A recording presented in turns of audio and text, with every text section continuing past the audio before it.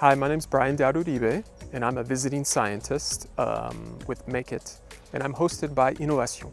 I'm an associate professor at the University of San Francisco. I've always been interested in whether and how technologies can serve and accompany poor and marginalized farmers in Africa.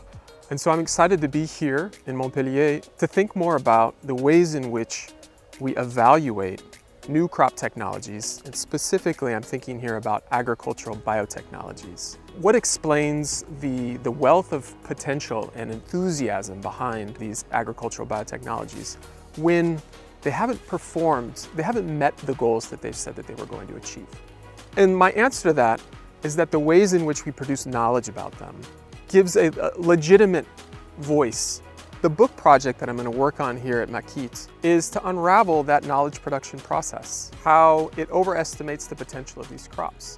And I can put this underneath the umbrella of skewed science. It's a knowledge production process that uses the tools of science, but uses only particular tools to give a very nice view of these technologies in the hands of farmers. And they're three P's. The first is promise.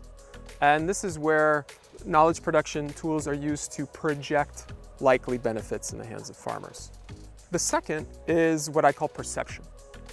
And this is where particular scientific tools are used to evaluate the crops after they've been adopted by farmers.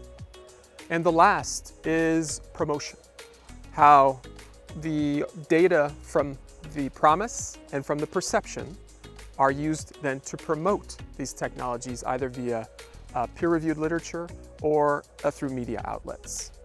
And the goal of this book project is, is simple.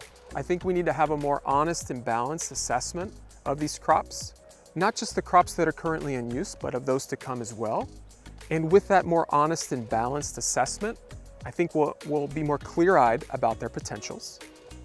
We'll be better placed to understand how to improve their performance and or we'll be better placed to understand whether those are paths that should be pursued or whether there are other better paths to achieve the same goals.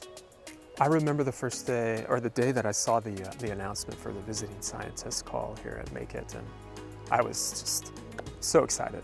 Montpellier has always been, for me, a place where world-class scientific research is done, particularly on the topics that I'm most interested in. And so I knew that this was the perfect place for me to learn from different researchers, to, to harvest a lot of the, the knowledge in the greater Montpellier ecosystem here that could really inform my work.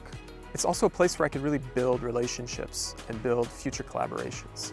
Over the next 10 months, I look forward to the seminars, the, the informal interactions with uh, scientists and researchers here, but also the networking through the CG system, through CIRAD, through other um, institutions here and French universities. So something surprising about me is that although I come from North America, I'm a very big soccer fan. And now with my two kids, nine and six, and can't wait to go see the local team here play against some of the best French teams, kind of experience European uh, soccer culture here while we're here.